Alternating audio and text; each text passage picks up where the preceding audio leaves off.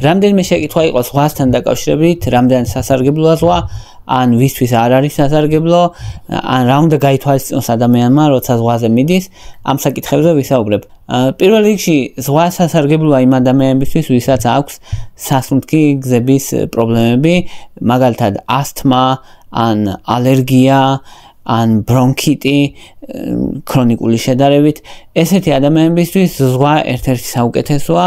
ერთი იმიტომ რომ ჰაერი შედარებით უფრო სუფთაა ცნობილი ფაქტია და შეგიძლიათ რუკასაც დახედოთ სადაც არის ხოლმე დაბინძურების რუკები არის ესეთი. ნახავთ რომ ზღვის მიმდებარედ უმეტესად შედარებით სუფთა ჰაერია.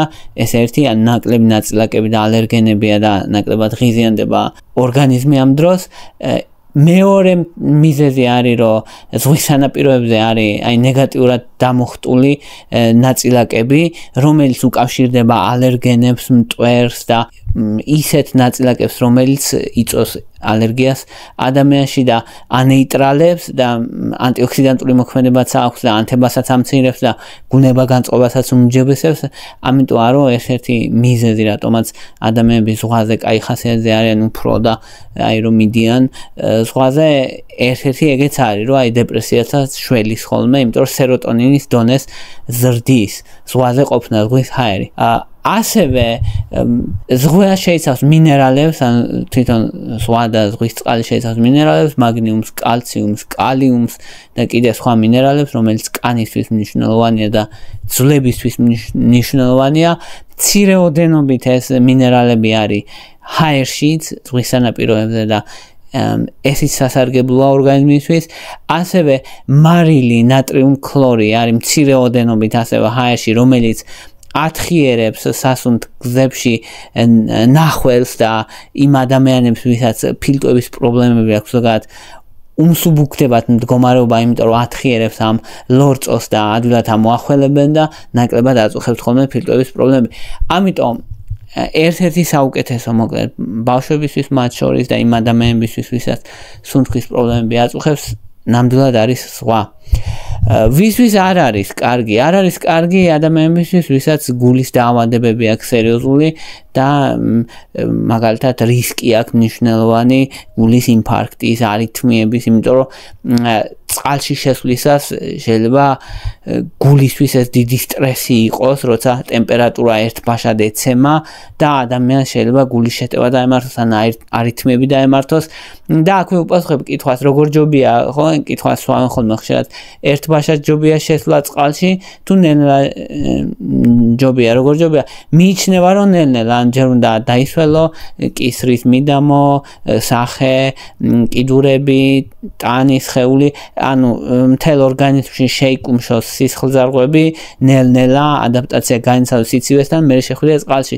შესაძლებელია თუ ადამიანი ზოგადად ჯამრთელია პირდაპირ შევარდეს წყალში მოკლედ ესე შესაძლებელია, უმეტესად არაფერი არ დაემართება თუ ადამიანი ზოგადად ჯამრთელია, მაგრამ თუ ადამიანს გული აწუხებს, შეიძლება გულმა დაარტყას ესე დროს შოკისგან, იმიტომ რომ სისხლძარღვები ერთბაშად შეიკუმშება, ადამიანი სულხას დაიწყებს ჩქარა, გული დაიწყებს ჩქარა მუშაობა, შეიძლება არითმიები განვითარდეს შესაძლებელია, მაგრამ თუ ადამიანი ზოგადად ჯამთელია, როგორც წესი პრობლემა არ არის.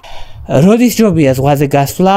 ჯობია დილით 10 საათამდე ან საღამოს 6-ის მერე, იმიტომ რომ ძალიან დიდი მნიშვნელობა აქვს ультраისფერ გამოსხივებას და აქაც არსებობს სპეციალური ультраისფერი გამოსხივების ინდექსები და შეგვიძლიათ გადაამოწმოთ ხოლმე ანუ 1-ია 1-დან 2-მდე კარგია, 2-ს ზევით, 2-დან 9-მდე 10-მდე ზოგჯერ მეტიც ცუდია და საშინელება ორგანიზმისთვის. მოკლედ ძალიან ძლიერი ультраისფერი დასხივება, ამიტომ ეს არ უნდა მიიღოთ.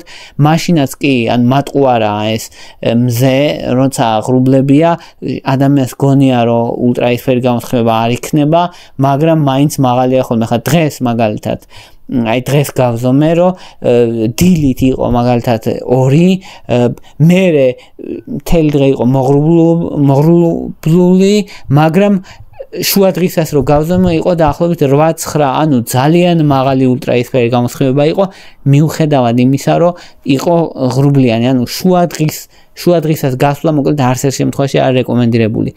იმიტომ რომ ერთ-ერთი მნიშვნელოვანი არის ზღვაზე გასვლისას დამწრობა, დამწრობას იღებს ადამიანამ ულტრაისფერი გამოსხივებით. ყველაზე ცუდი რაც აკეთებს მოკლედ არის რომ სიმსივნის რისკს ზრდის ეს მზე და ასევე კანს აბერებს. კანს აბერებს რატო კოლაგენის ძაფები გვაქვს ჩვენ, კოლაგენის ბოჭკოები და კოლაგენის ბოჭკოებს წვიტავს შუაზე მზე და პირდაპირ კავშირშია კანის დაბერებას. ანუ ადამიანებს გონიათ რატომ რაღაც რომ რუჯი ლამაზია სინამდვილეში ეგ არის გარანტია იმისი რომ ნიშნულოვნად ბერდება თქვენი სხეული როცა რუჯს იღებთ ასე რომ არ არის რეკომენდირებული ну გემონების ამბავია, მაგრამ მე ძალიან ნეგატიურ შეფასებას მივცემდი.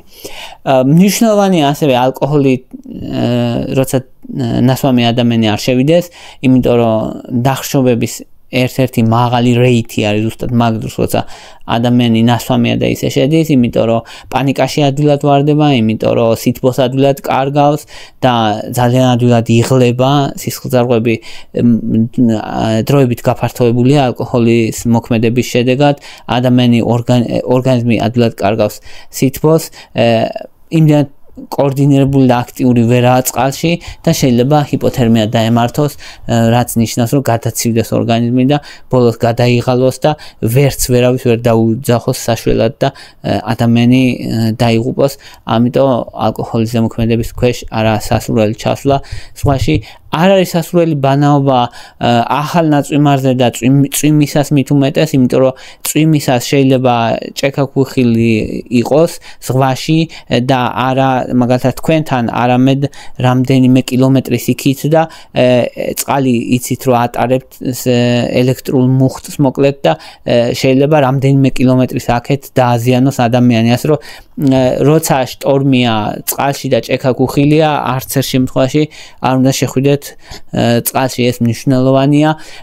რატო არის კიდე რომ აი მაგალითად ახალ ნაწვიმარზე ძლიერი ქარის დროს და ესე დროს არ შედიან, იმიტომ რომ ახალ ნაწვიმარზე მიწას ჩამორეცხავს ხოლმე ხშირად და მიწიდან ბევრი ბაქტერია და მიკრობი გადადის წყალში და ამ დროს წყალი სავსეა მოკლედ მიკრობებით და ადამიანის საწვისმომნელებელი სისტემის მხრივ აი ნაწლავების ინფექცია შეიძლება დაემართოს მაღალი ალბათობით, იმიტომ რომ რაღაც რაოდენობა წყალს ყლაპავს ადამიანი როცა ცურავს ზღვაში ხშირად და ეგ იწვევს ხოლმე საწმისმომნელებელი სისტემის მხრივ სიმპტომებს.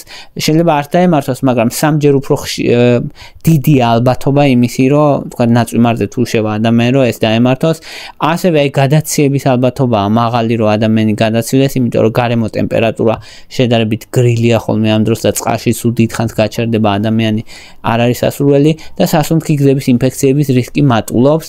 ნიშნელოვნად, ამიტომ არ არის რეკომენდირებული ახალ ნაწვიმარზე ადამიანი ჩავიდეს, თუმცა ზოგადად ჯამრთელი ადამიანები, ვინც არიან და რამე პრობლემები არ აქვთ, ჩადიან ხოლმე და არც არაფერი არ მოძდით ბევრ შემთხვევაში, მაგრამ მაინც რისკად არ ღირს. შემდეგ კითხვა არის ხოლმე კიდე რამდენ ხანს არის უსაფრთხო წყალში ყოფნა, მაგალითად ერთხელ შევიდა ადამიანი და რამდენ ხანს უნდა იყოს წყალში და წყალში მზემ შეიძლება ბრჭყალში დაარტყას თუ არა და სიცხის დაკვრა მიიღოს თუ არა, დამწრობა მიიღოს თუ არა. შესაძლებელია კი, იმიტომ რომ მithumetes თუ მზის გულზე ადამიანი და დღისით არის არ არის სასურველი, ან შუა დღის საათები თუ ან ამდლად შესაძლებელია რომ დამწრობაც მიიღოს, იმიტომ რომ ატარებს იმ ультраისფერს ხივებს წყალი და შესაბამისად ადამიანი იღებს დამწრობას, თავზე მithumetes თავი დაუცველია ამ დროს. რამდენი ხანი და რა რისკები აქვს წყალში რომ იყოს, 1 საათზე მეტი არ არის სასურველი, იმიტომ რომ შეიძლება გადაციება მიიღოს ორგანიზმმა.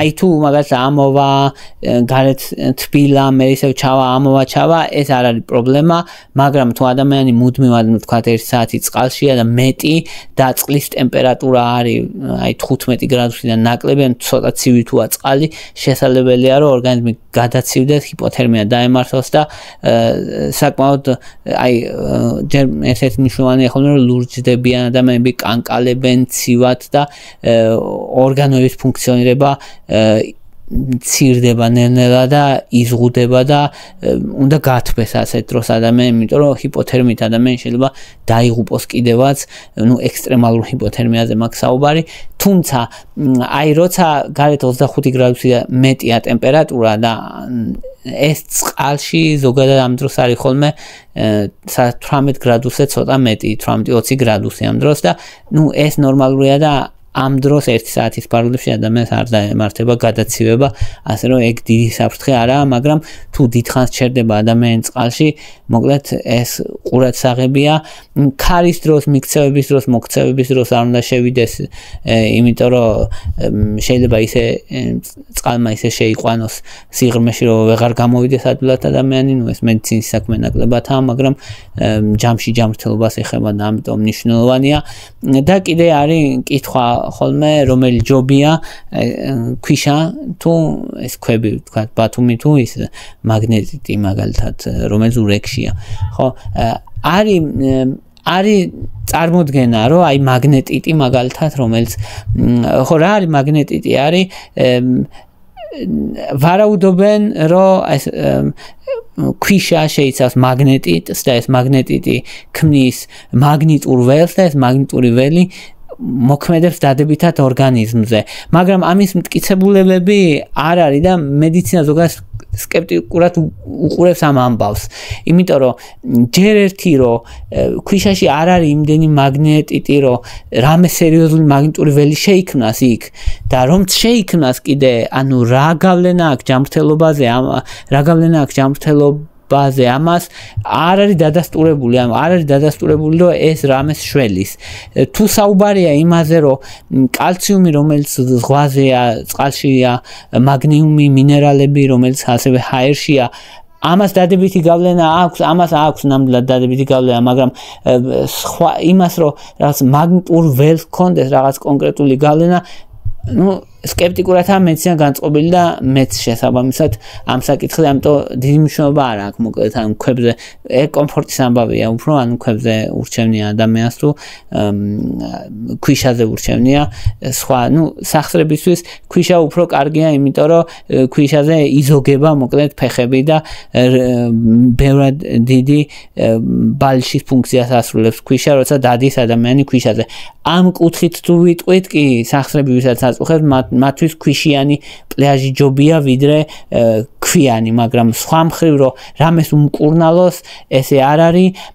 კიდე არის ხოლმე კითხვა კანისთვის როგორია ზღვა, კანისთვის და კანის დაავადებებისთვის. გაჩნდა დაავადებებს ჯერტია ზოგი არის, ზოგიერთ დაავადება პირიქით უარესდება, მაგრამ აი ეგზემა, აკნე და მაგალითად ფსორიაზი ბევრ შემთხვევაში უმჯობესდება წყალში, იმიტომ რომ აი ძლიერ მარილიანი წყალია ეს და უმჯობესდება, მაგრამ ზოგ შემთხვევაში პირიქით უარესდება, თუმცა უფრო უკეთესდება, ან ჯამში უკეთესდება.